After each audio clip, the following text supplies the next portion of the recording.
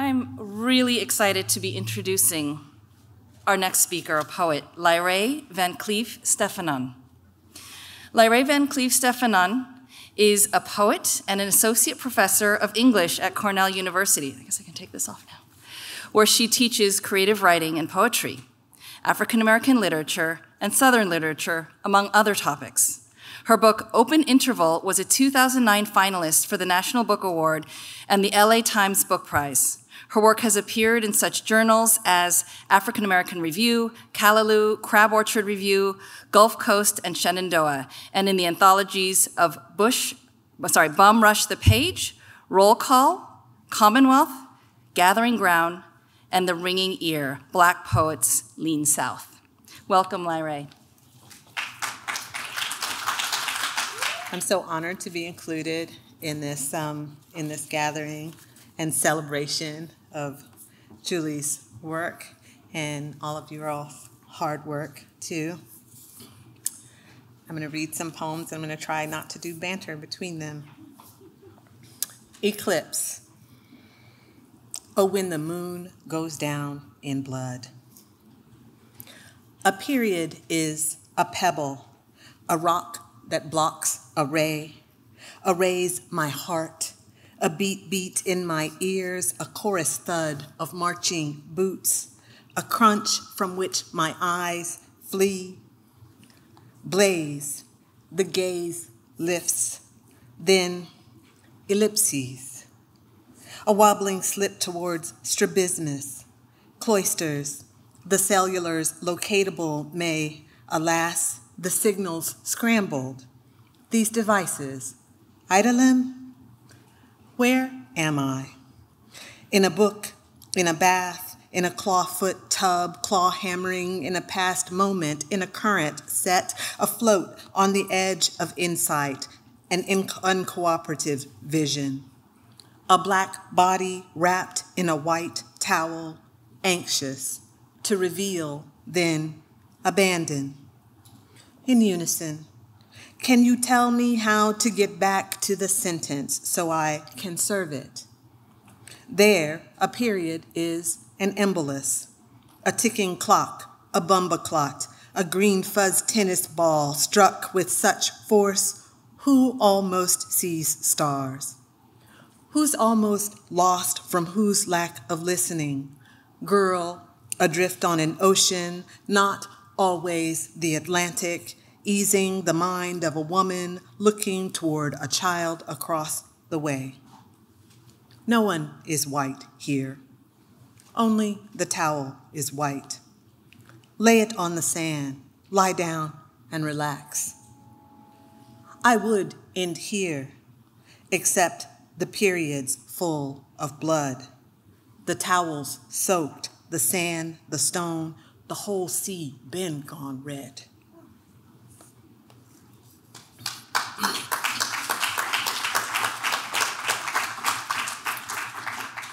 Blooming. Try to spell the teeth sucking sound. Sound that shoots the eyes right, sidelong toward the edge of a field. Vision branched into full flowering, then drags the eyes back as swift, alert toward witness. The margin, people, leafy here don't say community like that. Don't say communion like that. Don't say communist like that. Here, efflorescing like sound that is unspellable. Spit pull and air's edge against the enameled walls inside one's maw. Sound, frits, bites, soothes, sedge, a yellow field breathing space, roots. To breathe is to heal, what a body might do in a field with a breath. To frit is to begin, to prefuse sand and flux, but push the breath hard enough through, and it is to call the dogs or to call attention to. St. John's wort, the sedge in this wild blooming. How bored of dull walls of every sort I am. Tss. A frustration of flowers, pulled back over the tongue and stopped against the wall behind the teeth, a hiss that is a click. An image shuddered, a story the eyes shot. Someone placed a skull in the middle of a field. I'm stumbling through a commission, this still life. I can't finish until I invent a way of spelling an upside down T, a row of S's sucked backwards to a thick tongued stop, like someone's snapped. A picture I don't want to describe the skull, the wall. Let the T stand for tool. Let the T stand for tag. I'm it. Commit. Let T stand for the work T does in try. Teeth. Shoot. Frit. Witness. Careful you don't end up in the Chattahoochee. My mother warned me. I am trying here not to open my mouth. Your heart knows where home is, Grandma reminded me. Understand what happens when a sound opens. If by assessment you mean how will I measure when I have sounded the proper spelling, what does it mean to thrive? I miss the gold that glinted in my mama's mouth and the gold that glinted in grandma's mouth. Their sudden smiles, glorious mischief. Two women, no kin to one another, for whom witness meant to tell an old, old story. Notice the sedge, its structure. What of the T, what if the work T does in notice? The structure, Aaron Kaima. If the whole fails, let me had been breathing. Structure. If I fails, I am still the work T does in delight. Theirs, Florida baby girl and Appalachia grandbaby. I am still gleaning in grandma's, that's St. John's wort, gold, and mama's, look at God, glint. A simple gift, a breathless glimpse.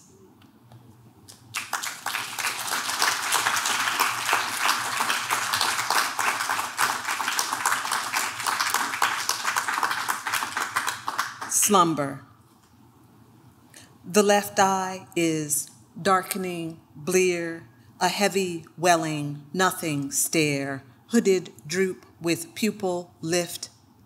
Not squint, but sharp cornered, almond shape, paired to slit, drug eye, nick bruised beneath, dragging the last of contempt from couldn't care less. The right eye is art, an other world, aftershock, x ray, blast, white with a white ring, ultra open iris, tear stripped. A dark drop clings to bottom rim, impossibly, pupil dangling at lash line as if prepared reversibly to slide back up to faded horror. No bridge separates left from right. No thing where nose would be if face to keep white gape from swallowing the dark edge. A canoe pulled towards a whirlpool. In the center of the drift above the closet, the board described does not dream. Dead tree, a knot is not a dream. Two knots burled over boudoir do not sweep in rapid eye to mind, a sleeper streaming, a film lilting about her, a lullabied surveillance, a rockaburst, the trees stop, a beam from which the words purged, a branch felling the forest, a blanched refrain from slumber, knotted, grain sliced, cut, cut. What sweetness another state is stealing from her.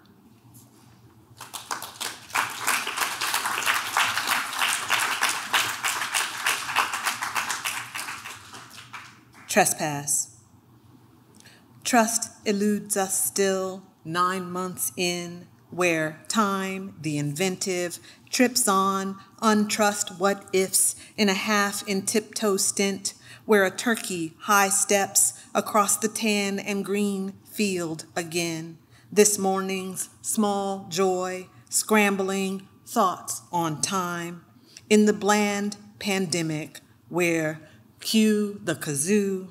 It has already been three weeks, five days, 10 minutes, and a second turkey, jerk necking its panic pumped sprint, tracking up my soundtracked meditation on trespass. I keep turning up tracks toward forgiveness, listening for forgiveness, but the skipping replay disrupts. What a joke they were, herky humping toward the dry brush as if they had already heard their own deaths waiting. Where but cocked there in the morning's hard silence?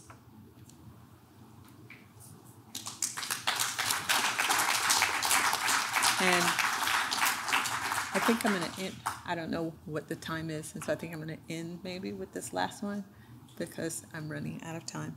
Okay, um, and this is for anybody who breaks out in hives. Um, my body has been sending me all kinds of like strange signals. I break out in hives. Sometimes I went for a while where I was breaking out in hives every day for about six months.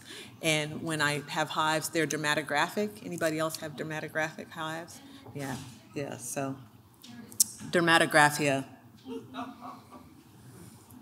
a strange sensation announces the hives. Already I have failed to catch the truth, as sometimes it's my eyes that bank them first. What are these lines, and when did they appear? A question in pentameter, the truth reveals a rhythm in itself. My skin questions language. What do you say about this scrawl? My skin commands. Make no declaration outside the field of wonder. Intimate instead of true despair, the way someone's ex lover this moment turns over the word ghost. Again, I have failed. The despair is mine, and ghosting an arrival grooves on my thigh. Who has been touching me, I wonder? All week this week, I've told myself no one touches. I have stopped to run my hand over my leg. I have stopped just short of tears, a different river, this stop flow, happening in 2021, and here it occurs, is the apt description, the one that feels closest to sensation. Imagine standing in a river. How would it feel if suddenly all of the water stopped? The hives rise, suggest themselves as patterns on my thigh, a rill, a runnel touch, a channeled stutter over skin. This is what it feels like when nobody is close. How I feel it, this troubled ghosting. Thank you.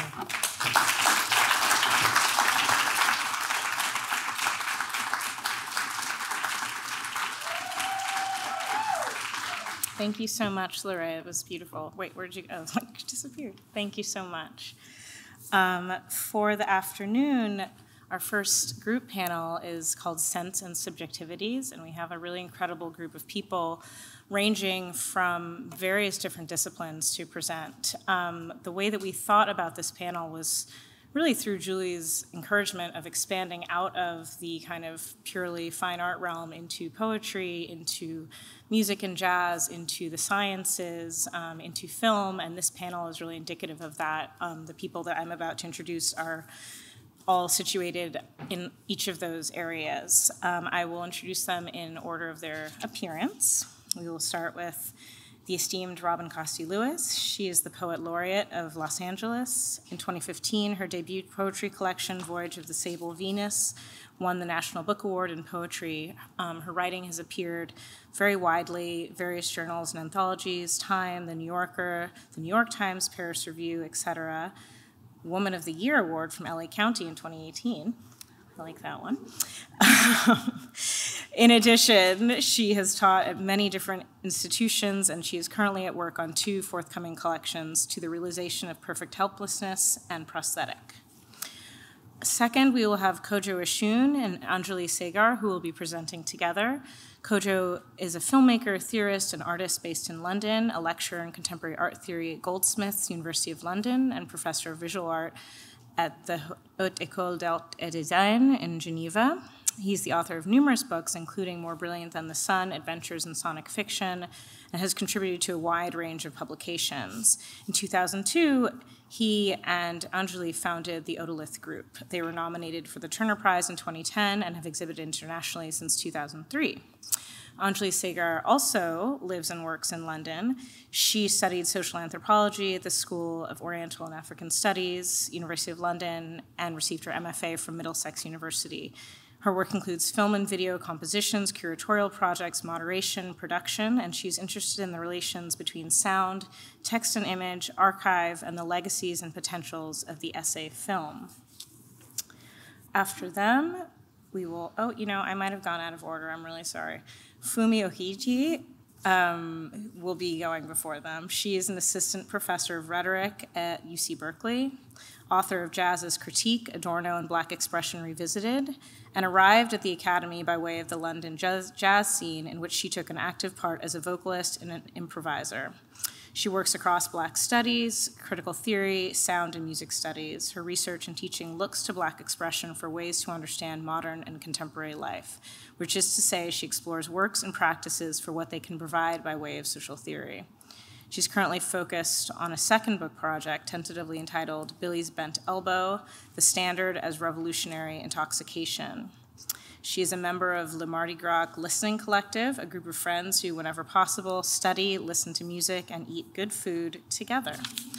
And finally, we have Dr. Charles Zuker, who is a molecular geneticist and neurobiologist. He's a professor of biochemistry and molecular biophysics and of neuroscience at Columbia University and a principal investigator at Columbia's Zuckerman Institute. He's been an investigator of the Howard Hughes Medical Institute since 1989, studied biology, at the Univers- Catholic University of Valparaiso in Chile, attended graduate school at MIT, and prior to coming to Columbia in 2009, he was the Kevin and Tamara Kinsella Chair of Neurobiology and Distinguished Professor at UC San Diego School of Medicine. So please join us on the stage. Um, and I should mention Kodwo and Anjali are joining us virtually from respectively Berlin and Greece. Um, so they will not be here with us physically, but we will see them on the screen. But Robin, Fumi, and Charles, if you'd like to join us on the stage, please do. Thank you so much.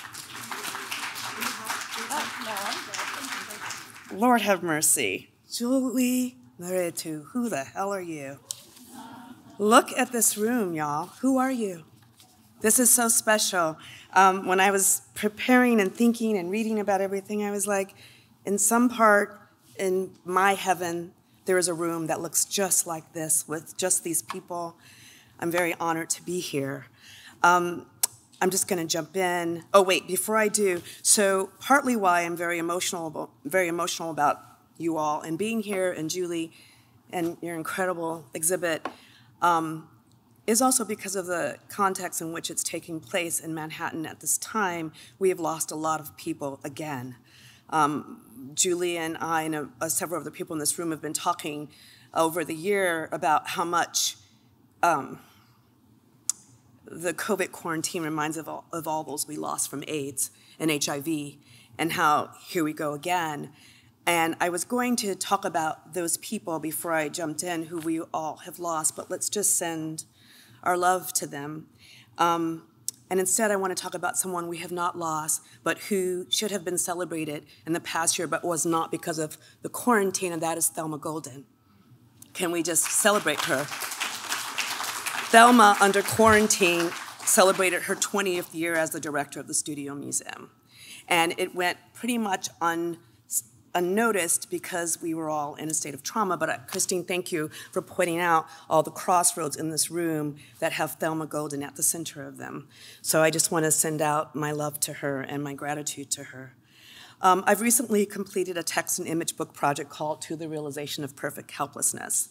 This photograph presumably was taken by my grandmother, Dorothy Mary Cosney Thomas Brooks, I found it along with hundreds of other photographs from daguerreotypes to Polaroids in a suitcase under her bed just days, be days before her house was to be demolished to create a church parking lot in Los Angeles. I should say I found them in 1997. My project that I've been working on for 25 years is an attempt to reframe both her collecting and photographic practice as an archive of global black artifacts. We can speak more about this through the day or the evening as we mingle, but for brevity's sake, I'd like to do what my father often said to us when we were in trouble I can show you better than I can tell you. The title, however, is from uh, the great black Arctic explorer Matthew Henson. Henson had just seen, um, Henson, I'm sorry, I, I, can't see. Oh, that's right, I don't have the right glasses. Sorry. Um, I just need to check in for a minute. You guys, um, this is not going to be projected live, so I want to apologize to the audience. I'm sorry, we're still processing the archive, and there are legal and ethical reasons about why we can't um, stream them. So, but you'll see them soon in the next year, okay? Um, in any case, okay, so um, Henson had just seen yet another of his beloved, uh, beloved friends killed in a storm as they trekked onward north towards the pole.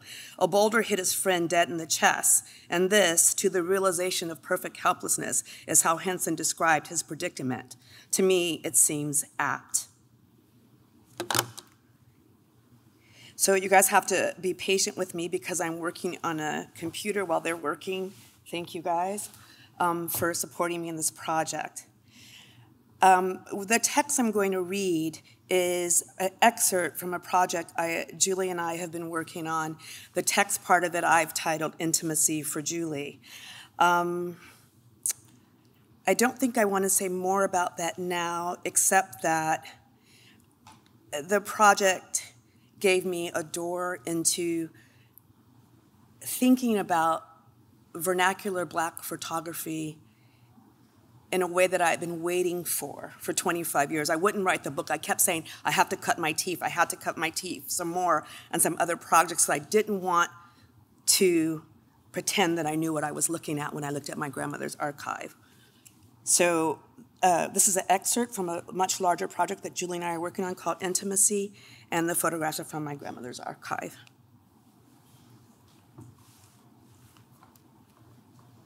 Forgive me I manifest both. I think they thought at some point that I would come back home. I think I thought so too. Luckily, I know it by heart. Do the tambourines miss us?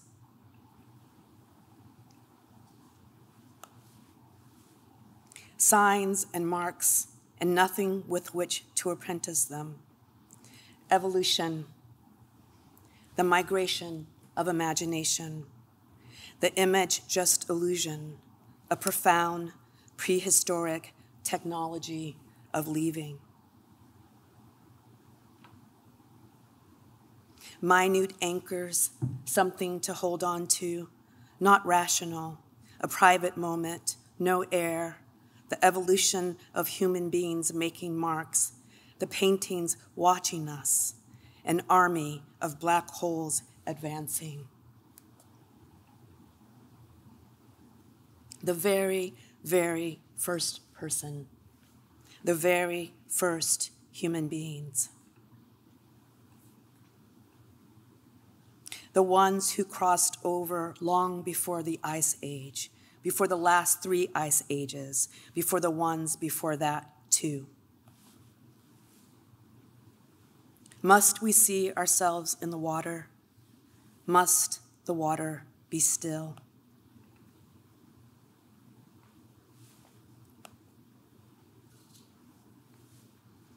And didn't we know all this was going to happen? Didn't we feel it all those decades ago, standing together talking on the sidewalk? I remembered you then, not from the past, but from an inkling inside my body that some would later call the future. Some part of me expected you, knew you would arrive, faceless, open, hungry, and how the words felt then in our mouths, all those small minded Englishes we refused to speak, and all the countless blacknesses we could. The body was our archive. Desire was our breastplate.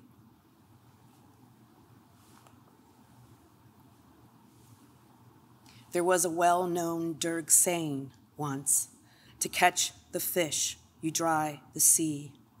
You were only four then, running along the bottom of the ocean. We were running underwater in the opposite direction. Land is secondary. I was four then, too. A history of alienation, perhaps. Perhaps I just needed to take the future off the table. Devotees of Black absence, disciples of the immeasurable.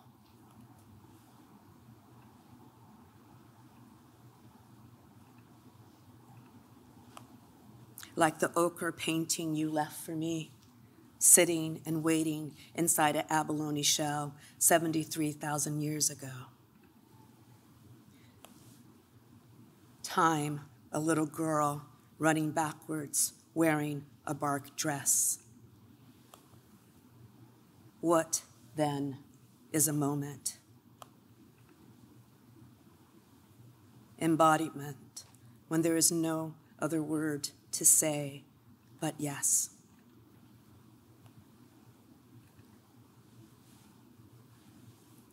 Yes. intimacy, cell to cell. Do you ever wonder who made the first brick, the first needle, the first spoon? I was on the ark with you. I was the hull. I was the flood, too.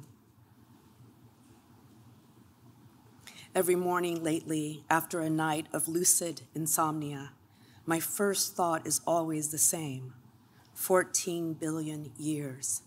Our planet began 14 billion years ago. I just lie there thinking. Then I move slowly forward, millennium by millennium, trying to see everything that has taken place until I arrive to the present moment, me lying in my bed. Lately, I think about all of the other humans now extinct whose DNA spirals inside of our own DNA. Then I remember that we will one day soon be extinct too. 14 billion years. I'm terrified by the idea of my own death, but I scoff at the idea of four tiny centuries.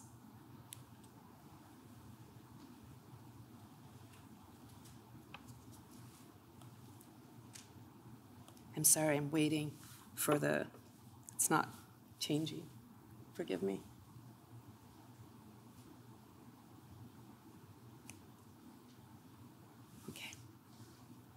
Sometimes, instead of going forward, I try to go further back, beyond 14 billion years. I try 15 billion, 16 billion, 60 billion, long before our planet was ever created.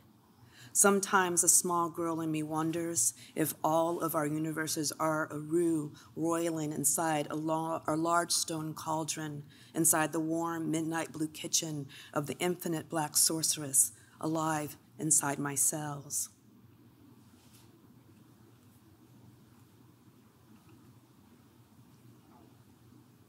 Sometimes I can't stop thinking about the fact that before Mao Zedong became a genocidal murderer, he was first a librarian.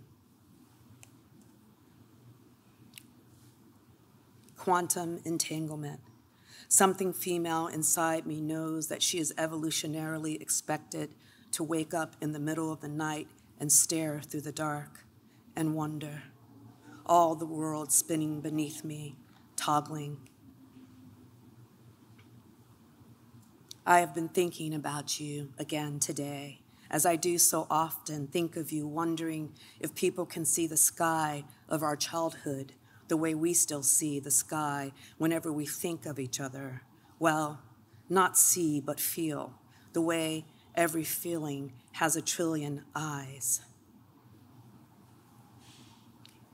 There are days when all I want is to hold your hand and walk down Wilmington two girls who can feel all the galaxies inside them and no one to understand or even fathom that our minds have sprinted far past them, that while they insist on our drawing and redrawing the first three letters of the alphabet, that we, like all the other children here, can already see the planet's arc and all her invisible, perfect geometries, of which you and I sitting here now make three.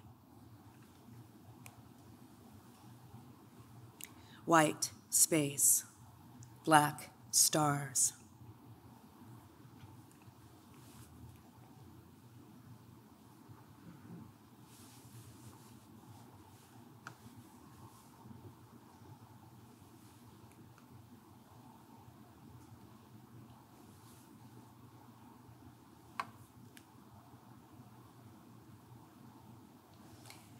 I am sharpening my arrows naming each point after the dead.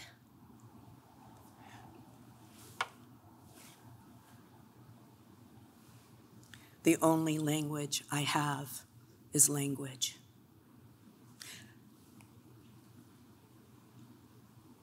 Like the ancient technology a scientist discovers in the interior design of a fossil shell and then replicates in a factory, a shape and function that makes a whole industry turn. That is pleasure. 40,000 years ago, there wasn't a continent that had not borne our footprint. The Mother, the Daughter, the Holy Spirit. Holy rascal, first teacher, sacred door.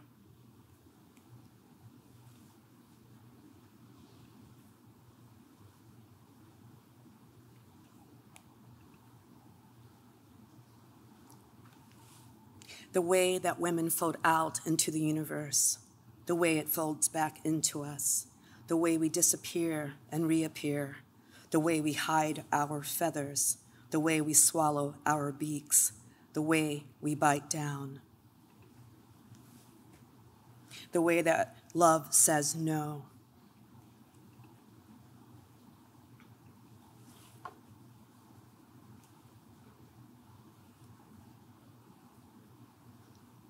the way it sometimes whispers, yes. The way a woman steps towards me and her steps pry me open. The way, if I look into her, she steps back. The question, always black. The way we open, the way we close, too soon, too late, and then reverse it, the way we close too soon and open way, way too late. the old stories still alive inside us, the old ways just waiting, our gardenia corsage, a pearl engagement ring, swinging a T strap to and fro, your arm around me, sitting on a park bench together, that very first time we saw the sea. The way that I can never leave.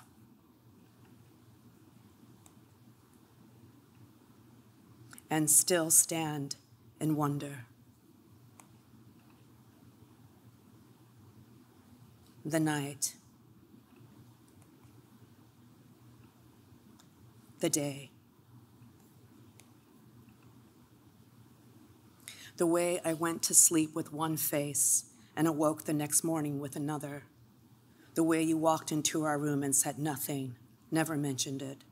The way you still recognize me. The way we rode through that ancient desert that night, hour after hour, the lush and endless darkness, the way our eyes knew to adjust to the pitch black, the ways we began finally to see, the way we held each other's hands, and the kind men who drove us in their Jeep. Your father had died, and the stars, the stars. The way time keeps knocking on my bedroom door, the way that death lets her in, the way that life pours the tea. Only love can wear the crown.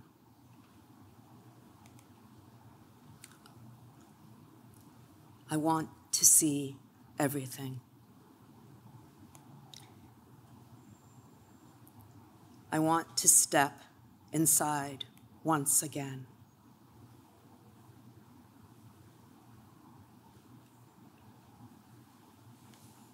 For those in the back who can't see the text, it says, We wish for maps that have never, been, that have never existed, that will never exist. I touch myself with history.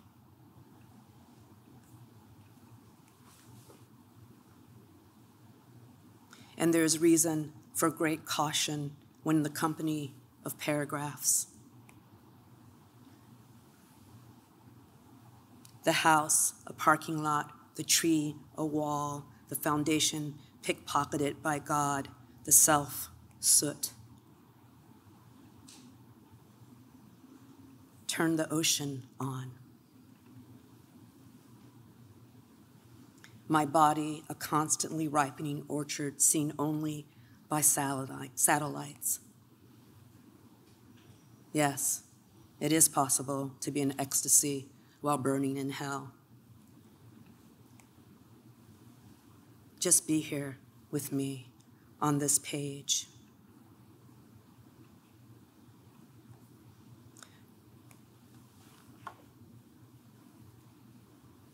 Do the tambourines miss us?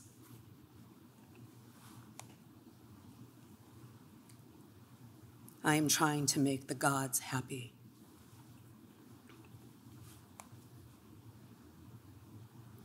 I am trying to make the dead clap and shout. Thank you.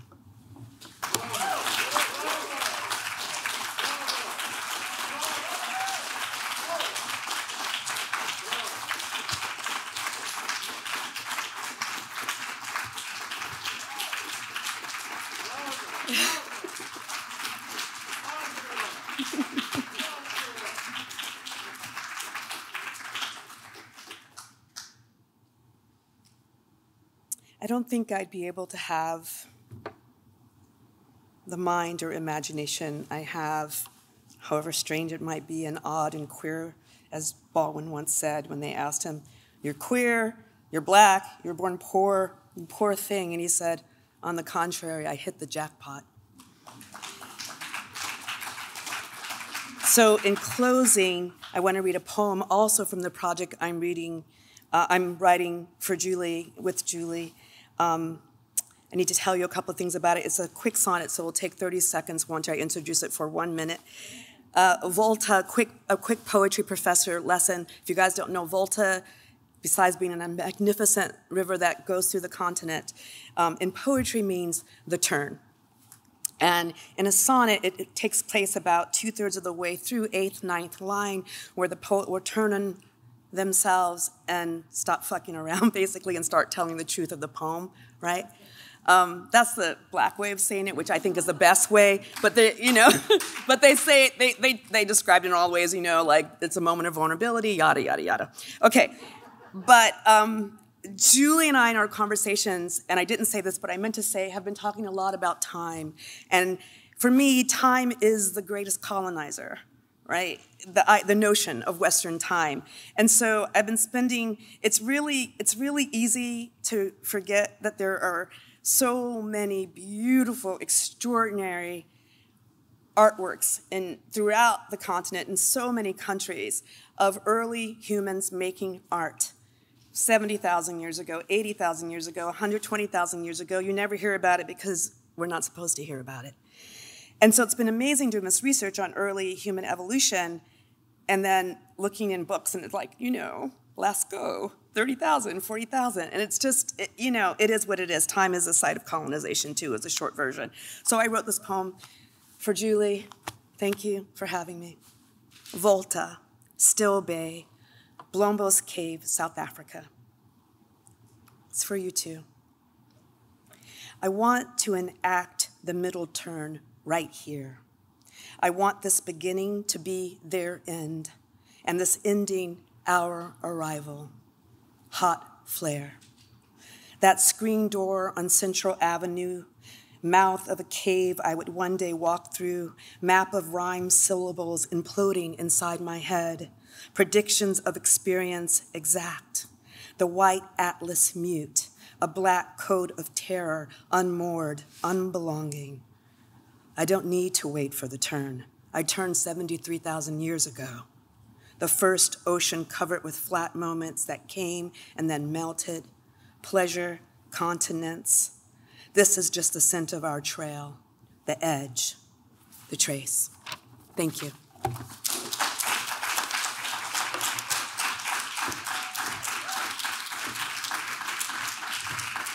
So uh, it's really great to be here. Um, thanks so much for, for Julie and Megan for uh, inviting me. Um, it's been a really lovely experience to think alongside uh, Julie's work um, and to, to hear from my fellow contributors today um, and to share with you. Uh, so what I'm about to present, to share, um, is an in-process progress bit that I've been writing in conversation with the exhibition. Um, the thinking is a, a, pressure testing of an alternative notion of the standard. Um, and I've been thinking about the standard in jazz uh, as a forum of sociality, as a, a collection of contributions to the composition that we usually understand as the standard. Um, in this piece, I'm talking specifically about what I'm calling the non-sensuous standard. Uh, and this is a, a modality of the standard in which the contributing parts do not necessarily sound or look like one another. I'm thinking about the non-sensuous standard as a way to understand something about black, queer, and abstract or abstraction perhaps more, most importantly, I'm interested in understanding the resounding sociality of the black abstract. So it's about 10 minutes long.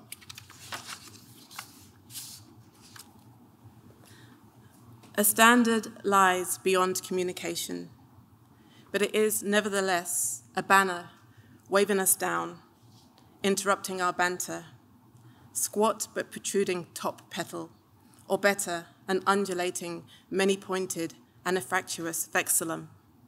A brushed thing, barely touched, pointed thing, the point, the matter at hand, which is us together, just so, for a while. Over the other side of family resemblances and material similarities that gather us around a progression, a lyric, a color, an idea even, is what Walter Benjamin calls Verwandtschaft, that is relationship, affinity, connection, kinship. They're ways to each other, these works, by sensuous experiments. Their gossip and how they are to get to the point is what they talk about, is all we can talk about, really. But it seems to me that they move in this way with the intention, the devoted patience and attention to happen upon a non sensuous standard, their kin. This gathering, we are told, is not comprehended by reason, but by a feeling. Their kinship, not so inevitable, certainly not accountable, but adoptive and felicitous. They may look and sound like one another, and yet resemblance does not need to appear where there is kinship. Benjamin's relationship is a kind of kinship that not so much survives the middle passage, not so much survives the separation, the imposition, but rather emerges as that which is most ready at hand for them. There is no need to set aside any um, genetic identity or disposition. Kinship cannot be determined or evidenced, it can only be felt. We may say, we might say that both, we might say both, that the paintings, black and African, resemble one another, hold an undeniable sensuous similarity, and that their kinship can only be grasped as a feeling. Julie says her paintings hold one another, not as siblings, but as other kin. Their connection that we from the outside cannot quite comprehend. Schemata, marks, layer, layers, paintings in search of something together, cauldrons of affinity, makeup and mounds, today's disco eyeshadow, and staves hidden beneath expression and phrase, the salty shade, there's no mistaking that she is an intriguer, but she must have approached these paintings with such assiduous care, approached the matter of their possible kinship only obliquely, improvising parts, setting up games and obstacles for them to get lost in one another.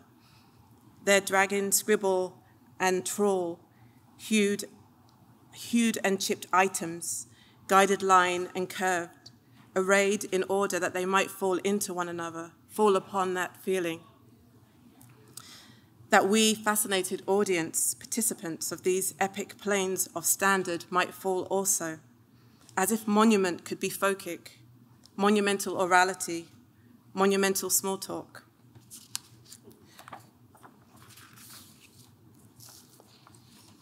This, this standard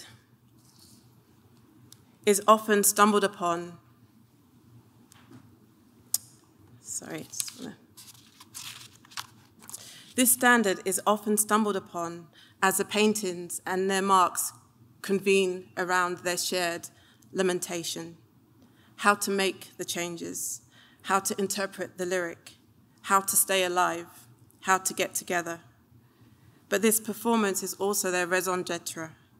They come together around some matters, but most importantly, they want to make music, which is to say they want Verwandtschaft, they're saying something is vehicle for this.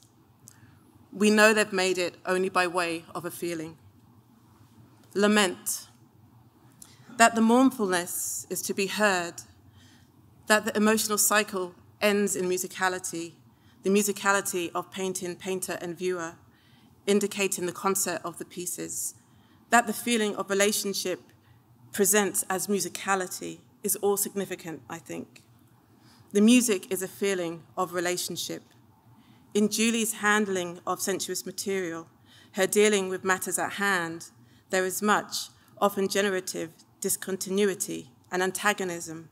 But as Benjamin uh, discovered in his mourning play, we find in these paintings coming together that the, the redemptive mystery is music, the rebirth of a plethora of emotion in supersensuous nature of musicality. The suggestion that lament characterizes our coming together, our non-sensuous similarity, that our kinship, aside from any family resemblances, hits, hits me hard.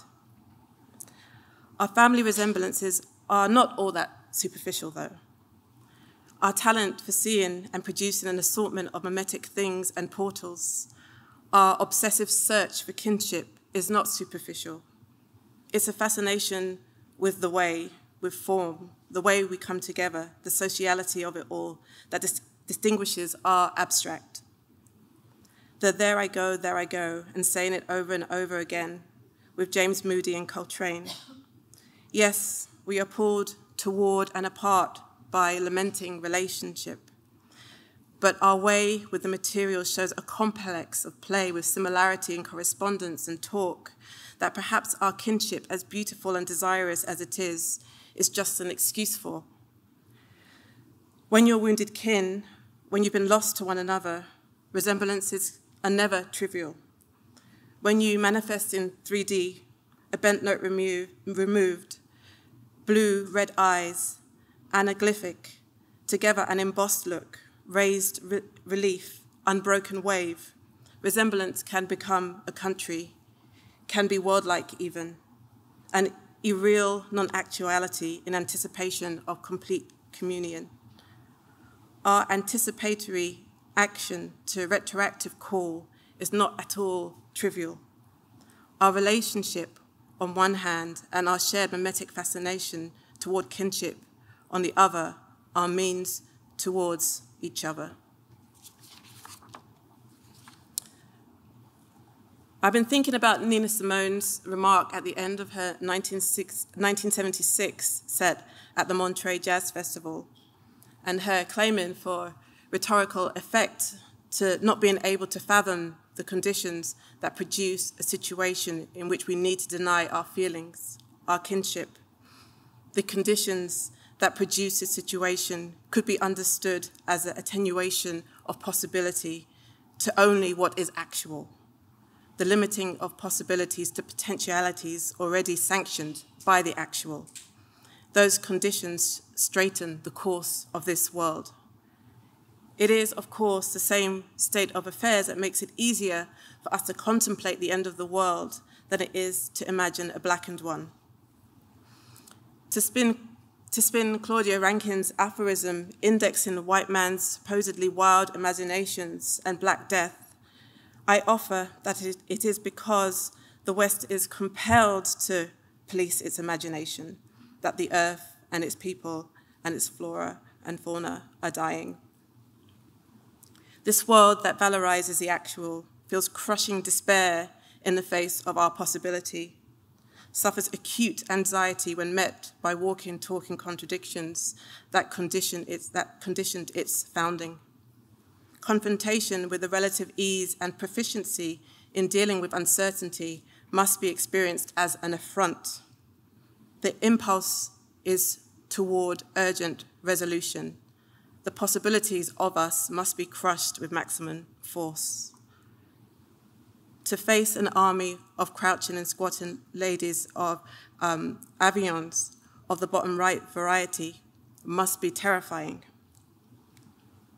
It is because we are mere abstract, formal possibility, because we are in existence without actuality, because we cannot or cannot police our semblance, cannot or will not actualize our fantastic everyday indeterminations, our this way and that, multi-perspective modality, our reverie in goodness.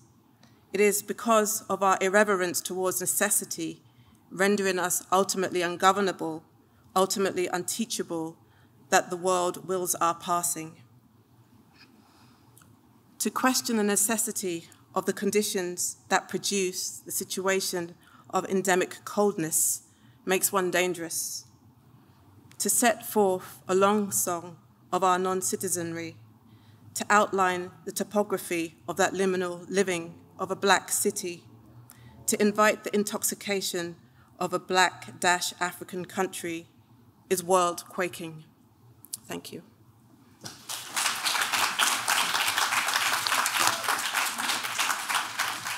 Hello there. I believe we are live now.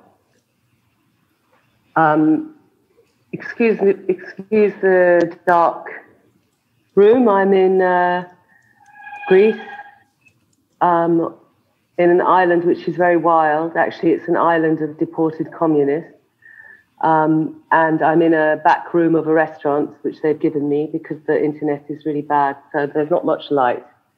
Um, I'm just explaining why I'm in the I'm not actually in the dark, but the light isn't actually shining on me. So, um, Kodwo, would you like to begin? Okay. Um, can everyone hear me? Maybe put a sign in. The, yes, I think. Okay, fantastic. Yeah, they can hear you. Anjali, do you want to say something? Can Yeah. everybody hear you? Yes, I think everybody can hear me too. Okay, because Um, I can't hear you. So that's quite disconcerting. Oh, Um, um, okay.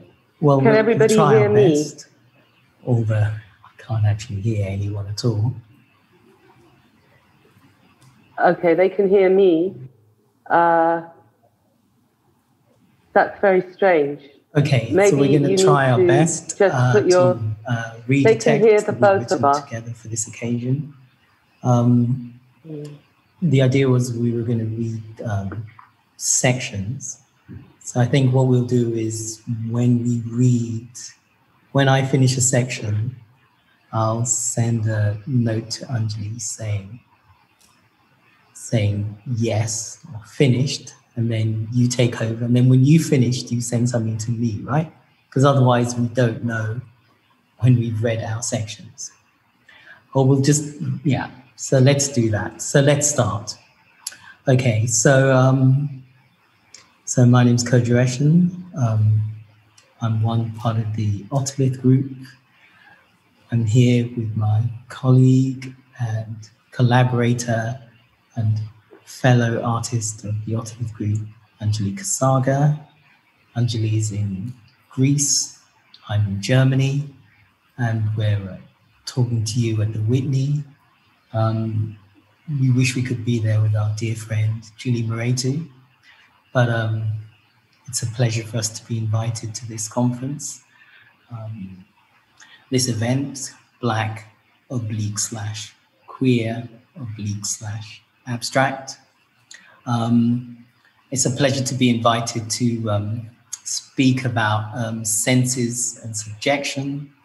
Uh, although I have to admit, what we've written really works better in relation to um, questions of blackness and abstraction because they are really an extension of um, of a conversation that uh, Julie and myself and Darby English and a number of other artists and scholars had uh, at the end of last year, and um, uh, so this is an opportunity to continue that, and it's really an opportunity to continue um, a long-standing conversation around these questions that we pursued with Julie in many locations over many over many occasions, in many cities over the years, and um, it's a pleasure. So we'll do our best given the discombobulating circumstances.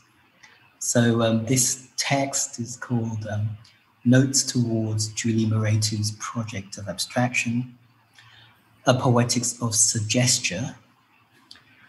That's Suggesture, S-U-G-G-E-S-T-U-R-E, and Aesthetics of Visual Neologism. Uh, and it's in four parts. So we think it will take about 15 to 17 minutes to. Um, so this is part zero, um, a poetics of the proleptic and aesthetics of the prospective. In an essay on Julie Mehretu's work entitled Signature Measures, Julie Mehretu's Disfigurations, author Marina Warner quotes an email from Julie Mehretu from March 2017. In this email, Julie Mehretu writes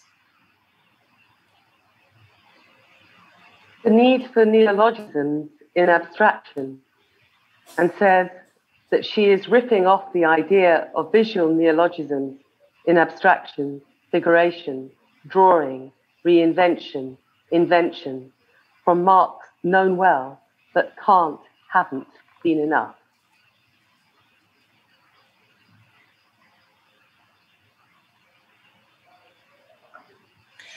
This notion of visual neologism is Mehretu's formulation for the invention of marks, which constitute a project of abstraction, a project for the making of gestures that propose abstraction, a project for a gestural inventivism that sets abstraction in play. It's a formulation of gestures in relation to the presence, the simultaneous present, the transhistorical presence of the history of artistic gestures of abstraction. It points to the metamorphic instability of the making of gestures in the present of painting. It's not only that visual neologisms set abstraction in motion, it's that abstraction relies upon visual neologism to chart the prospective tensions of its figurative possibilities. So we can think of visual neologisms as figures in and of abstraction, figures whose discrepant relation to abstraction reconfigures and disfigures, that is to say, queers abstraction's potential.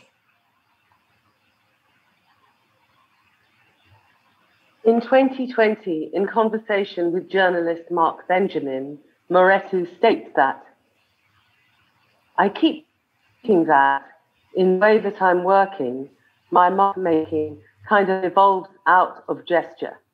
It mimics all of this history of mark making, whether it is prehistoric or really recent. All of that informs how I keep working, how I keep imagining, how I keep seeing. There are moments when I look at something that looks somewhat like this Guston arm, but it morphs into the vitriolic tongue of Bacon. Part of it is like Hammons' body print that stretches into a Giacometti, or is it a Noguchi figure? You see all this stuff evolving, and painting pulls from all of these languages in our history. I think of them all as visual neologisms. A neologism comes around when you need to invent a new word because the language you have at hand is not enough. It doesn't describe fully a new emergent culture that's being formed on the fringes. We invent new names for new songs, new forms of music, or new ways of thinking, or new ways of being in the world. So that's kind of how I play with the marks. They are being stretched and formed and pulled to mimic certain parts of early Renaissance painting.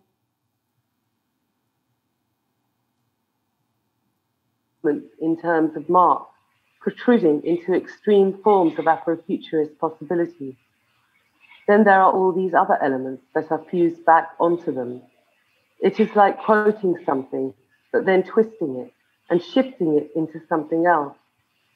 When you make up a new word, you're actually using part of the meaning of that word, but you're making something new up as an indicator, a signifier of something else, the way any neologism does. In invoking the idea of the citational capacity of the visual neologism, its citational temporality of the perspective, Mehretu draws upon the textual, the musical, the sonic, the verbal, and the literary. Drawing upon the writing of the music writer, critic Ian Penman, we could call Julie Mehretu's emphasis on the proleptic capacity of the visual neologism a poetics of suggestion. In his essay Garvey's Ghost, Heidegger's Geist from 2000, Penman writes the follows, the following. How did something so local and specific as Jamaican dance become so generally accessible and amenable to quotation? And can one so easily assume the other's tone? How does anyone come to quote an ambiguously instrumental suggestion in the first place? The suggestion for Penman has to do with Dub's challenge to the division between the song and the instrumental by its invention of the version which is neither song nor instrumental, but a version, strictly one version of the truth. Molecular reconfiguration of time and manipulation of space that transcends criticism's presiding tenet of realism.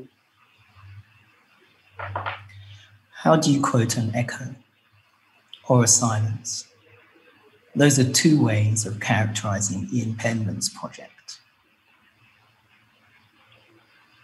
One way of characterizing Mehretu's project is its quest to draw out the prepositional capacities for suggestion made possible by a gesture, the gesture's capacity for suggestion.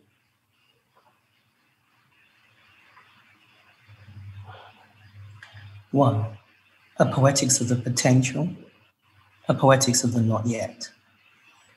What is important to Julie Mehretu is the temporal and existential necessity of the visual neologism, a visuality which includes all of its avatars. It is the pressures of the present that require the invention, the construction, or the fabulation of a new gesture or a new mark.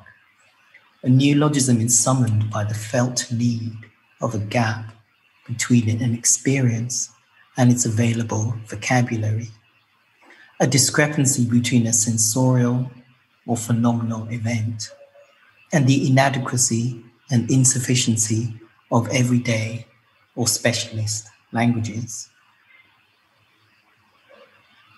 A neologism is a nominative gesture for an experience that is a social experience in solution.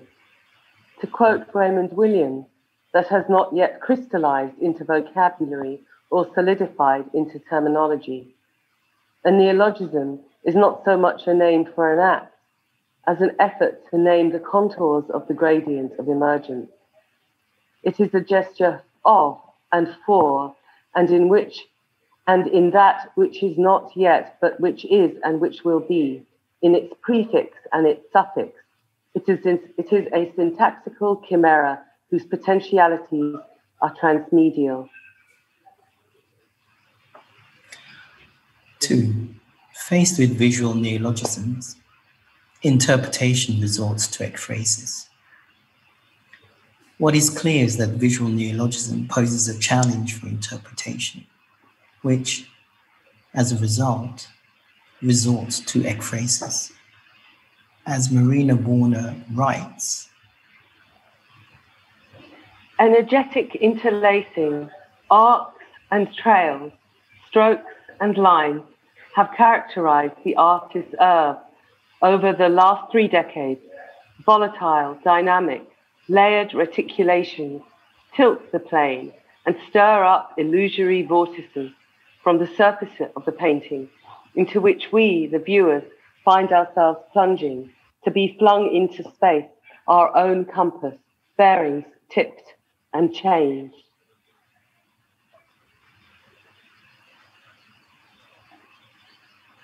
Three, in its encounter with visual neologism, interpretation turns towards analogy panic and illusional deficit.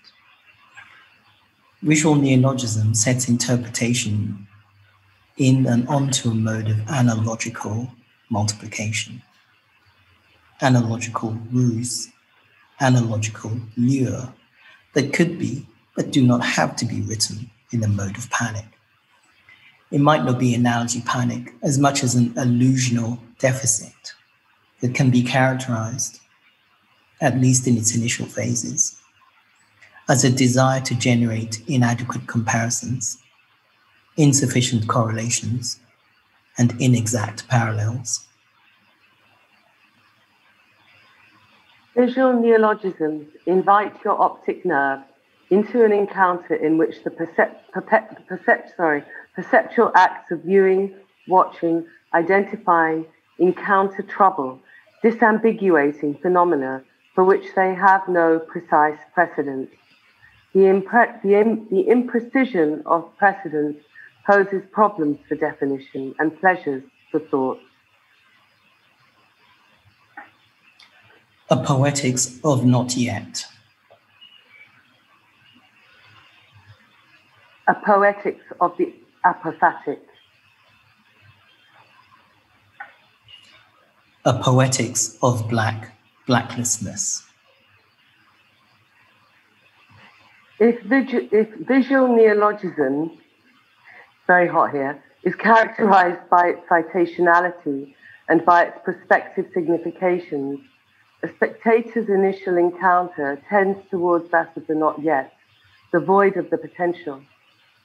Visual neologism stages an encounter with abstraction's capacity to deracinate, with abstraction's capacity to redraw the lines that secure the aesthetic integrity of the histories of blackness. Visual neologism confronts us with an encounter with blacklessness. Visual neologism confronts us with what Katherine McKittrick calls blacklessness. In demonic grounds, black women and the cartographies of struggle, Katherine McKittrick points to the element of surprise that, quote, holds Black Canada in tension with the nation's ceaseless outlawing of Blackness. Blackness is surprising because it should not be here, wasn't here before, was always here, is only momentarily here, was always over there, beyond Canada, for example. This means, then, that Black people in Canada are also presumed surprises because they are, quote, not here and, quote, here simultaneously. They are, comma, like blackness, unexpected, shocking, concealed in a landscape of systemic blacknessness, and they exist in a landscape of blacknessness and have astonishingly rich lives which contradict the essential black subject. The Black Surprise announces how blacklessness blackens geography in ways that are, depending on perspective, unintelligible. The Black Surprise, the blacklessly black, ideally welcomes a, long, a long-standing diasporic presence that cannot be understood on the geographic terms that make them possible. To regard Julie Mehretu's visual neologisms as a blackening of the history of abstraction that makes black abstraction possible, but which cannot comprehend it, is to draw attention to the absented presence of the black blacknessness of Mehretu's poetics of abstraction, with Marx whose gesturality appears bereft of the historical gestures that secure the parameters of the racial regimes of representation what David Marriott suggests is, quote, a struggle not over representation, but with the racial limits of the representable as such. The psychic experience of the encounter with the blacklessness of abstraction, with marks that exceed recognition or identification or predication as blackless as blackness leads to a recursive insight into the borders that draw the lines which divide the presupposed limits of aesthetics capacity to bear the signs of blackness.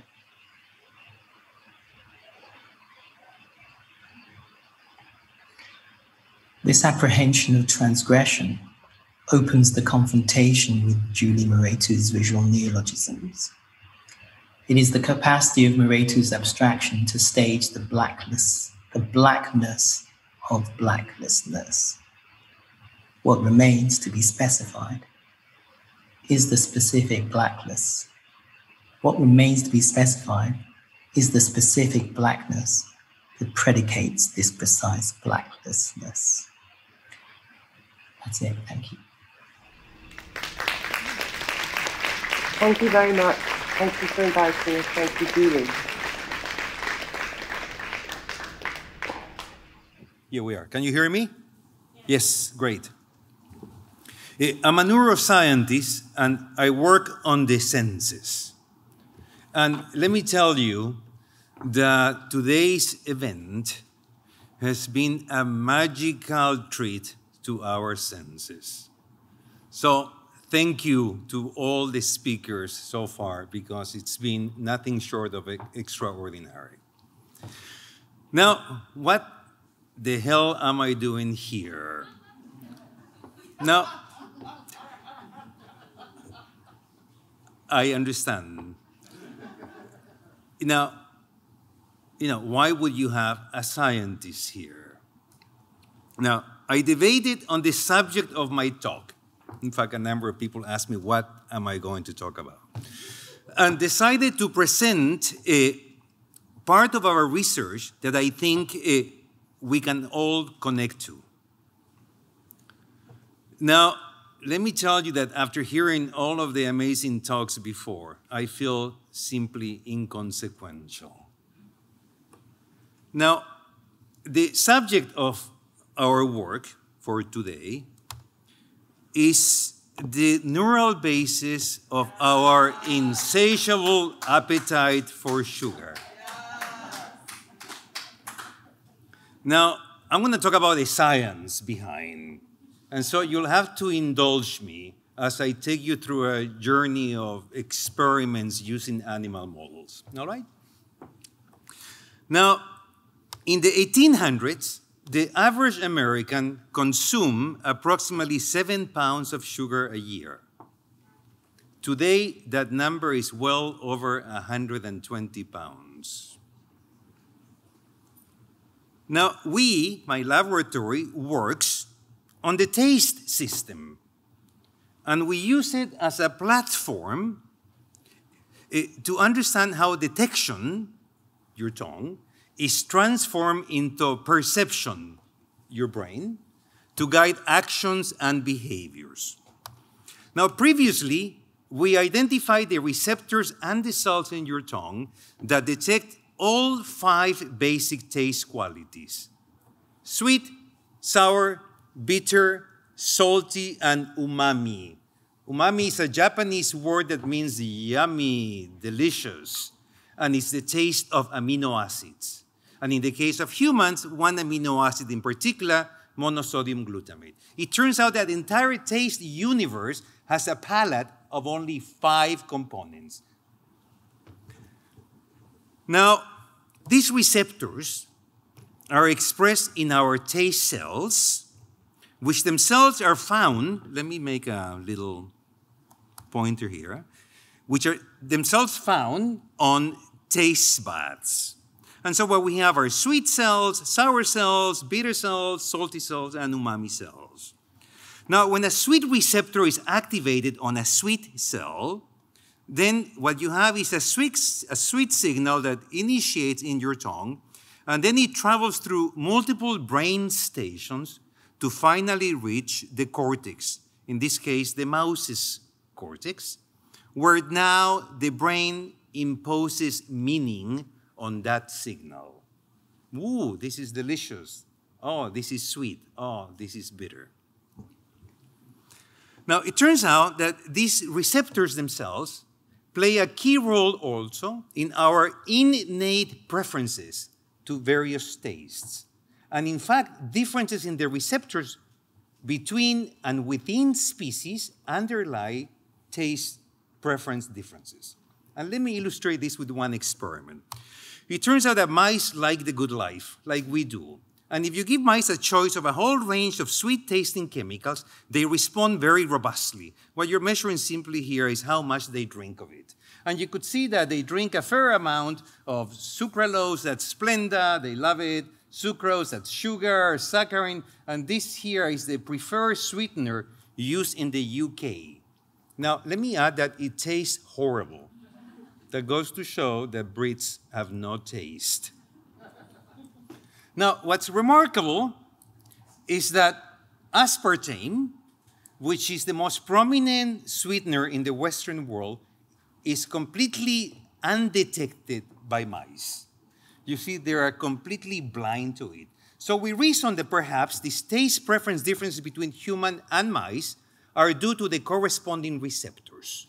And then we did the obvious experiments. We went into the human genome, identified the human sweet receptors, and then genetically engineer a mouse where we introduced the human receptor into the mice, and lo and behold, completely humanized these mouse's taste preferences. So this is the mice before, it has no sensitivity to aspartame, and this is now the mouse with the human receptor.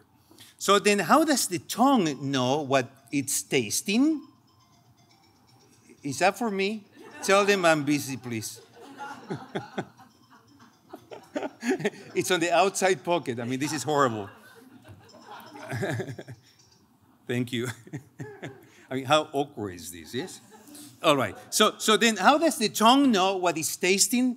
Well, it's very simple. All it needs to know is what receptor and what cell got activated. But how does the brain know what the tongue knows? Now, many years ago, my laboratory developed a way to actually look at the representation of taste qualities in the brain of a mouse. And in essence, what we do is we create a tiny little window into its brain with a very unique type of microscope. And now we challenge the animal with various tastes and we see what gets activated in its cortex. And we came up with an unexpected finding. And the finding was that when we look, for example, at bitter taste, it turns out to be represented by a unique group of neurons at the very back of this area of the cortex. And when we look at sweet, it was a completely different area. And when we look at salt, it was yet a different area. In essence, generating a map. Here we have a common subject with today's many talks a topographic map of taste qualities in our brain. Now, if in fact this group of neurons here represent the taste of bitter in your brain, and this group of neurons represent the taste of sweet in your brain, there are two predictions. The first prediction is that if I go to your brain and I silence these neurons, so I prevent them from being activated, I should be able to give you all the sweet you want in your tongue, and you'll never know you had it. And that's exactly what you get, and that's exactly what we did with mice.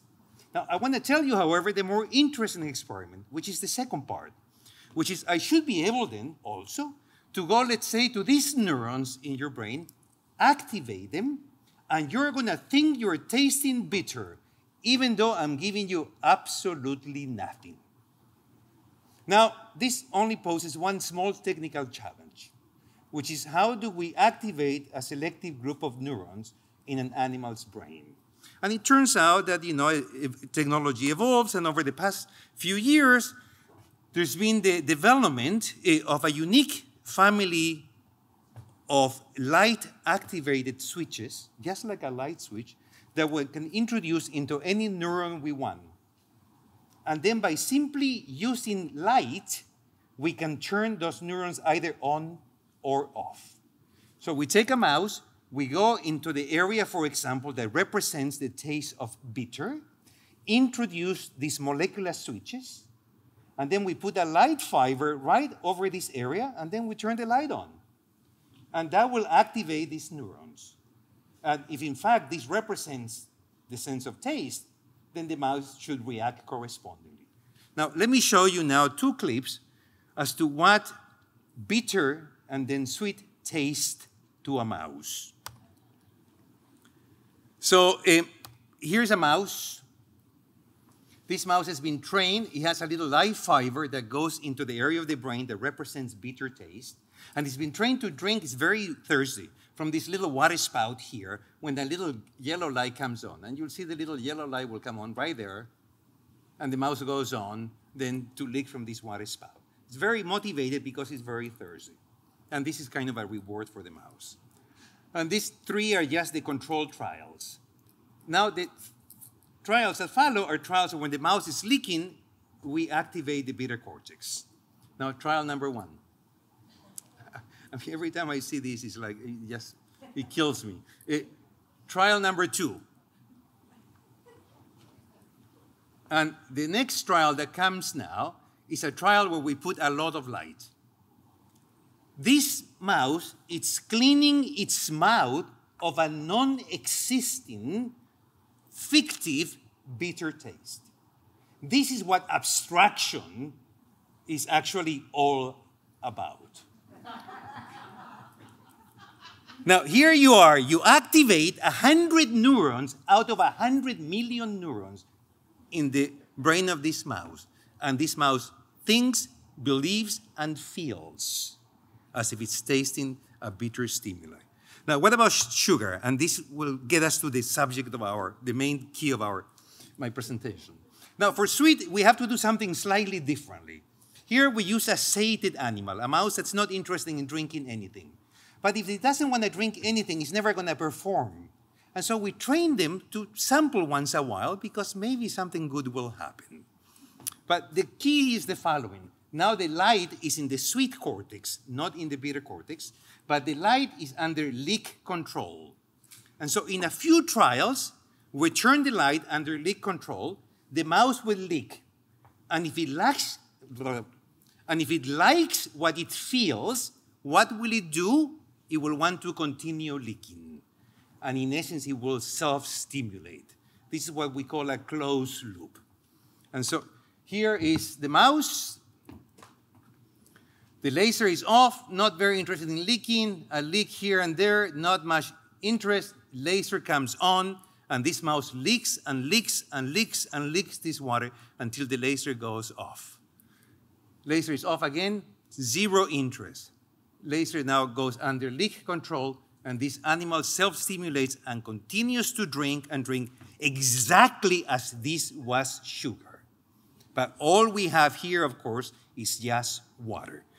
I think together, these experiments provide a powerful demonstration on how it's possible to control our sensory percepts and behavioral actions in the complete absence of all external sensory inputs. Now, when we did these experiments with Sweet, something unexpected happened. We kept trying the mouse, and eventually the mouse came back and reported back, You're not gonna fool me. There is not sugar there. And it stopped performing. So that's it, then, our quest to understand what are the neural bases for our unquenchable appetite for sugar. It clearly cannot be activating the sweet cortex. And now let me illustrate the issue. If you take a naive mouse and you give a mouse an option to drink from a bottle containing a huge concentration of an artificial sweetener and a normal amount of natural sugar, where this is around 10 times sweeter than this, this naive mouse, I had my mask hanging the whole time and nobody said anything. Uh, and this naive mouse will innately, of course, drink from the sweeter thing. So if we have little electronic leak counters here, Eh, you could see that this mouse drinks only, this, each of these line is a, is a leak count, drinks almost exclusively from the gray bottle. And why? Because that's 10 times sweeter than the sugar on the other side. That's our innate drive. But if we now take this mouse, we bring it back to its home cage, and we expose it to the same amount of natural sugar they had in that bottle overnight, and we come back and we test it the next day, something magical, extraordinary happened. This mouse is now completely switched its preference so that it drinks almost exclusively from the sugar, even though it's 10 times less sweet than, than, than, the, than the artificial sweetener. What's even more unexpected is that we can engineer a mouse where we eliminate all sweet receptors from the tongue. So these animals are taste blind. And when we repeat the same experiment in these taste blind animals, that of course cannot taste the sugar or the sweetener, we find exactly the same results. So, in essence, these animals learn to recognize and choose the sugar, most likely as a result of a very strong post ingestive effect. So, the mice are saying, I have no idea what's in there, but it makes me feel good. And that's what I want. And so we reason there has to be a brain basis for this behavior. What's driving the mice to ultimately choose what they learn to recognize as making them feel good, even though it's 10 times less sweet than the other option. And so we have means to then to treat mice with water, with sucrose, sugar, or sweetener, and ask what is activated in the brain only in response to sucrose, but not to water or to sweetener. And there's technology that allows you to do that. And the key here is that there is a unique area in the brain that's very strongly activated by sugar, by not by water or sweetener.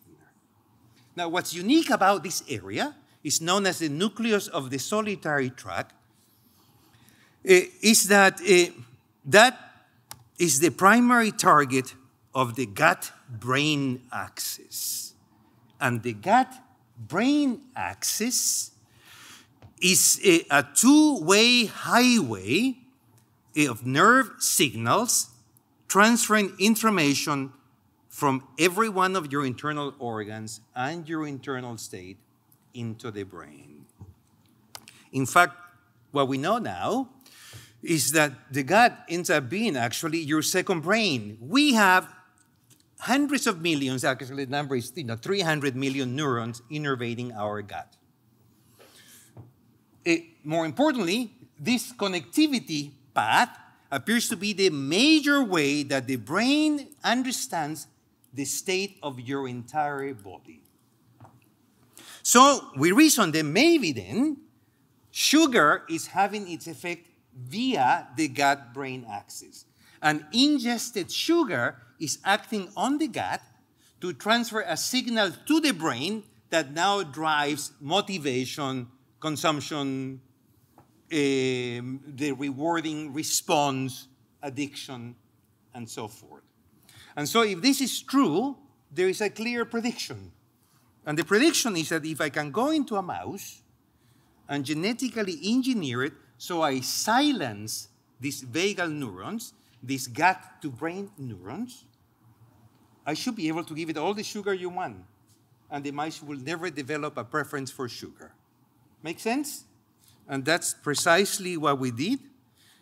And that's precisely what you get. This is a normal mouse. After you've been exposed at first with the two, and then you put it only with sugar, and then you come back the next day. Remember, you switch that you only drink sugar. You see, this mice drinks only glucose pretty much versus ACE-K. But if you repeat the same experiment I described to you in mice where we silence the gut brain axis, that means we prevent synaptic transmission from the gut to the brain. Now, these mice are completely incapable of developing preference for sugar. And in essence, they still continue to like the artificial sweetener versus the sugar. Now, three significant findings emerge out of this work. The first, they illustrate that the conventional view of the sugar addiction cycle where sugar was thought to go into the circulation and then act on brain circuits, it's incorrect. In fact, the physiological driver of uh, sugar preference formation is the signal through the gut brain axis. Second, they uncover these two parallel pathways for our attraction to sugar. And most importantly, highlight the fundamental difference between liking and wanting. Liking is what the tongue and the taste system does. Mm, mm, this is good. This is nice. But wanting is what the gut brain axis mediates. They also illustrate why artificial sweeteners have failed in the market in curbing our addiction for sugar. And the reason they have failed is because they only work on this pathway. They only operate in the tongue pathway, not on the gut brain. So they never curve our insatiable, unquenchable appetite for sugar. And the last point I want to bring up, since I'm out of time, is that they uncover, I think, the profound implications of the gut brain axis as a way of accessing and modulating brain circuits without ever having to go into the brain per se. So when you think that you had a gut feeling, you actually had a gut feeling. So let me conclude by thanking the people in my laboratory that have done all this work, an amazing group of graduate students, PhDs, and PhD MDs that went on to do this work. And of course, finally, eh, I need to, of course, eh, thank Julie for the privilege of being part of this celebration of her amazing work. Thank you, Julie.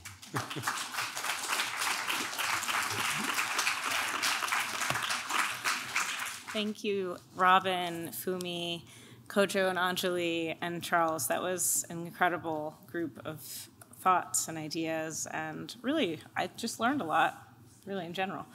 Um, I'm now very, very honored to introduce Dr. Bianca Marlin. She is a neuroscientist, the Herbert and Florence Irving Assistant Professor of Cell Research, the principal investigator of the Marlin Lab at Columbia University Zuckerman Institute. Her research focuses on how trauma in parents affects the brain structure and sensory experience of their future offspring. She received the Donald B. Lindsley Prize in Behavioral Neuroscience from the Society for Neuroscience in 2016 and was named a STAT Wunderkind in 2017. She's also a member of the Next Generation Leaders Council at the Allen Institute holds a PhD in neuroscience from NYU School of Medicine and dual bachelor degrees in biology and adolescent education from St. John's University. Thank you, Bianca.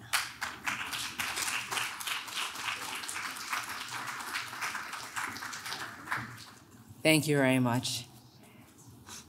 And thank you, Julie, for having me here today. Um, I, I, you don't have to ask, uh, what the hell am I doing here? Because uh, Charles already answered that question for you. So I'm also a neuroscientist um, at Columbia University, and my work surrounds senses as well. Um, and uh, we just heard about uh, taste, but we have to ask, what is taste without smell?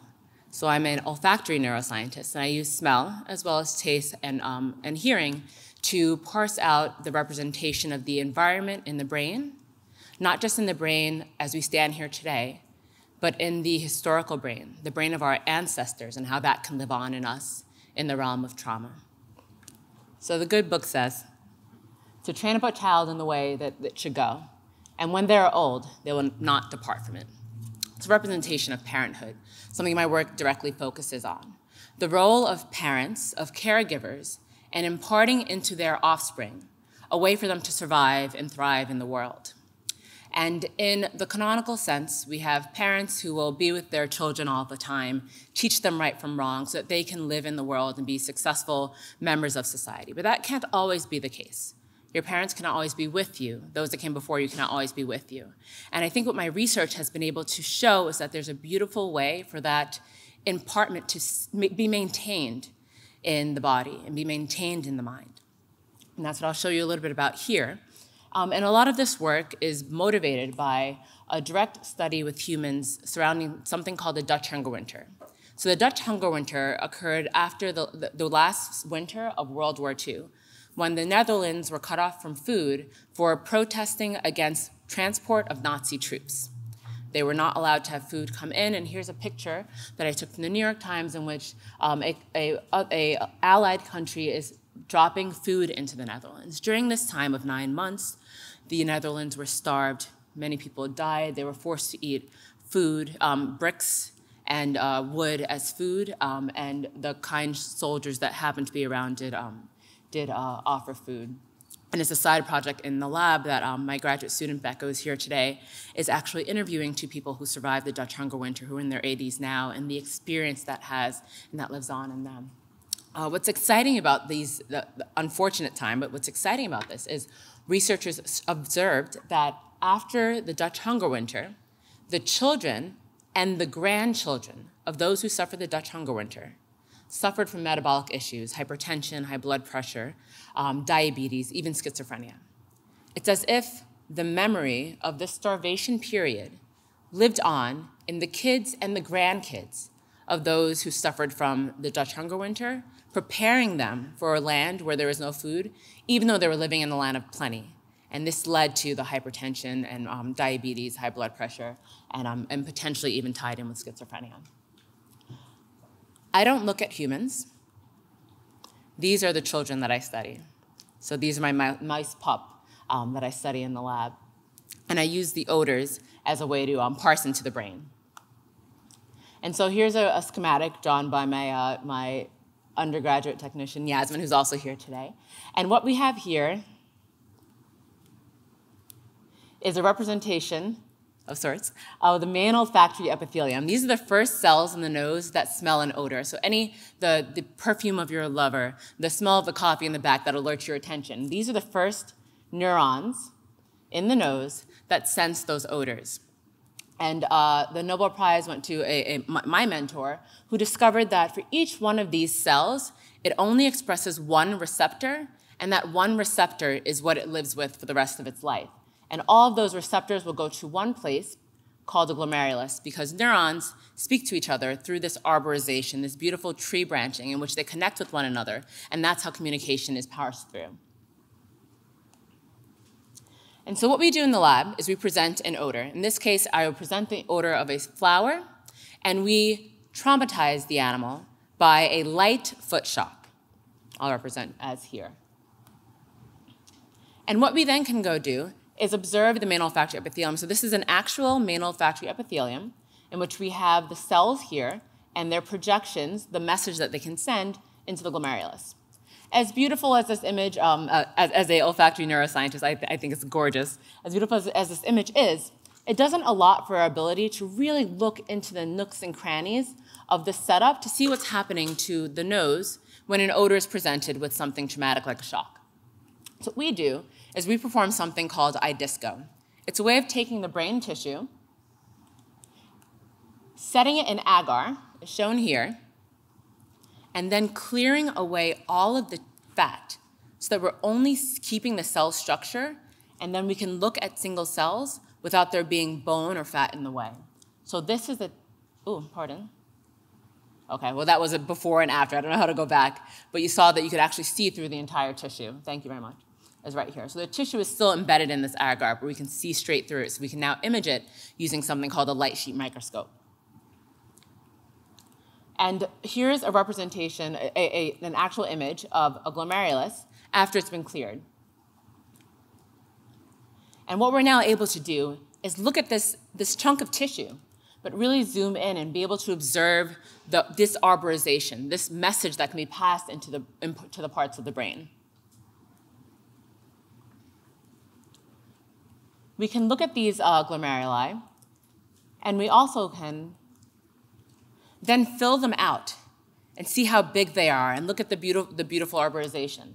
But what is this information without going back to the question of how does trauma paired with an odor change this representation in the brain? And so what I have here is a clear brain sample, and the cells that are in blue, the little dots are in blue, uh, respond to flower, the flower odor, and the dots that are in green respond to the smell of almond. We're able to parse out the different odors in between the nose to observe if we present almond and shock or odor with shock, what possibly could happen. And excitingly, what we uh, discovered, and, um, and as well as other labs we were able to follow up on, is that the traumatic experience of shock paired with an odor somehow increases the number of cells that respond to that odor. These are first order neurons. They're not going into parts of the brain that say, I'm scared or run. These are the first neurons that respond to a smell, and somehow they gain the information that says, This is important, and I am now going to increase my cell number for survival. I'm showing you two graphs. You only have to look at two bar graphs, but these two bar graphs hold a wealth of information. These two first bars are the amount of cells normally in the nose of a mouse that respond to the paired odor in home and in unpaired, which is when I present an odor. 10, uh, 60 seconds later, I present the shock. So they're not co-terminating. The animal stress, but there's no um, association with the odor. However, when we have an odor for 10 seconds and it ends with a shock, there's an increase in cell number the neurons somehow remember that this was a traumatic event. What we found to be astounding was that this message is not something that's just maintained in that animal who experienced this light foot shock and the odor.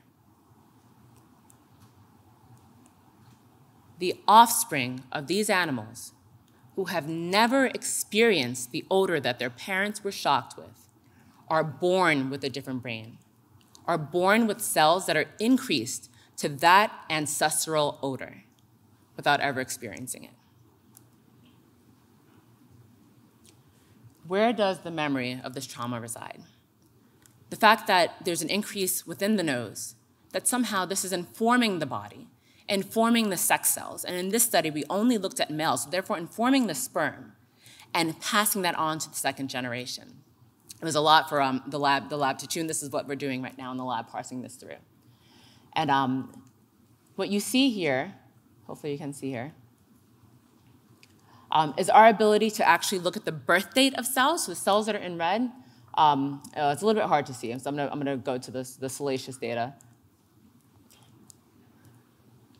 What I'm showing you here, you have to believe me because you can't see it as beautiful um, on the screen, is that we have cells that we can label the birth date of cells, when our cells are being born. We wanted to ask, how is there an increase in cell number in the nose? And what our data showed, here's a, a still image of this, is that the cell that's in green responds to the paired odor, the shocked odor. And when it's co-labeled with this red, it means it was born after the presentation of shock and odor. This means that the neurons are saying, I've been shocked with this odor. I'm now going to increase the number of cells that represent this odor. New cells that are born are now going to choose that receptor. And I'm using words that anthropomorphize um, uh, these neurons. I'm not sure if they're actually saying, what am I going to be today? I think, I think I'll be an almond odor. Um, but the fact that they are able to increase specifically to the paired odor is a beauty of biology. And here's a zoomed in image in which we see this one neuron who prior was respond didn't exist prior because we're looking at the birth date, like this animal, like this neuron, now is um, expressing the red, which means it was born after the shock, and the green, which means it's, par it's partial to that paired odor. We spoke about um, how this can happen in the nose. How does it get to the second generation? This is another type of imaging that we do in the lab. Um, this is called taking a video from your iPhone uh, of sperm that I took from a mouse um, that was anesthetized with a syringe. So we can look at different time points during this traumatic experience and other traumatic experience we put the mice through, um, light traumatic experiences, to look at the genetic and epigenetic, meaning around the genome, factors that could lead to this increase in cell number in the second generation, that can lead to the diabetes, hypertension, and schizophrenia in the second and third generation of those who went through a traumatic experience. And similar to what um, uh, Charles's lab does, we also can image neurons in the brain. And what we are imaging here is an area in the brain called the amygdala, which represents fear. And we're able to look not at the first generation that was paired with the shocked odor, but at the second generation, the son. Present the odor that its parent was shocked with, and observe changes in the fear centers of their brain. Do these animals respond in a, in a matter of fear to an ancestral memory? And that's the animal um, smelling and walking on the ball. And we can see a lighting of a cell here and here in response to these odors in the fear centers.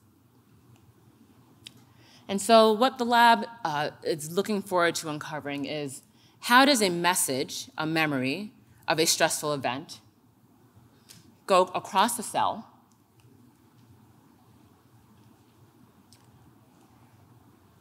across space from the nose to the testes and across time to the second generation.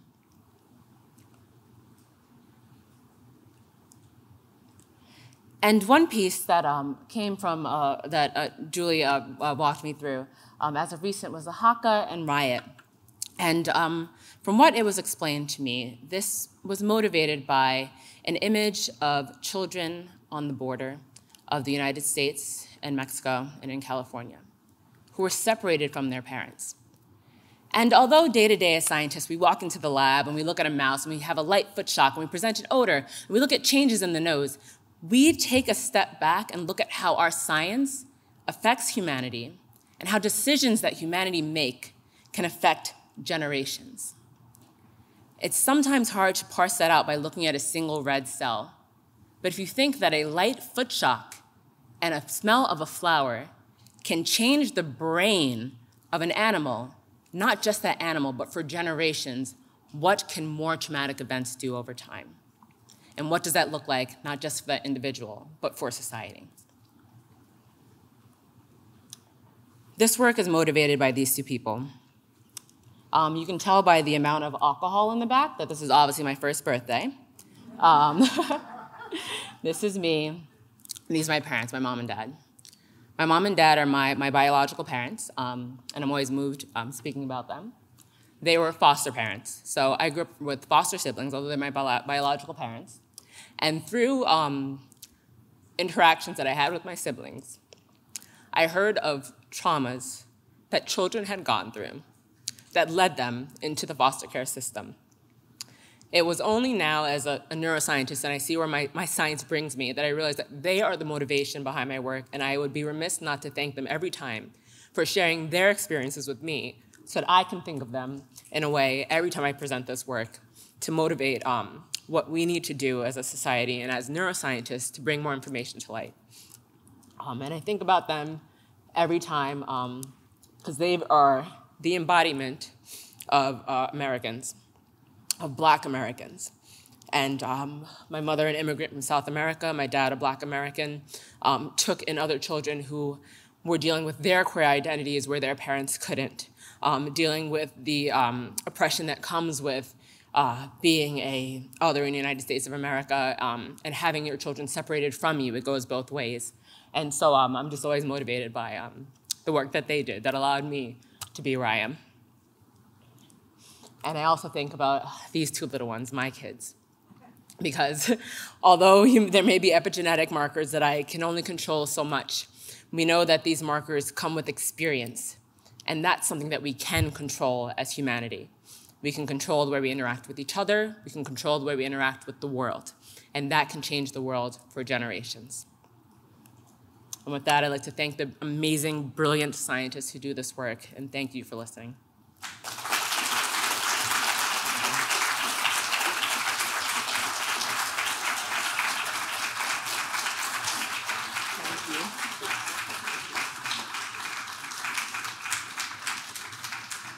Thank you so much, Dr. Marlin. Um, I think we all learned so much, and thank you so much for sharing photos of your family because, yeah, it is why we do all of these things. And I think there's so much to be said for bringing our truths into these spaces. So thank you for that, for your vulnerability.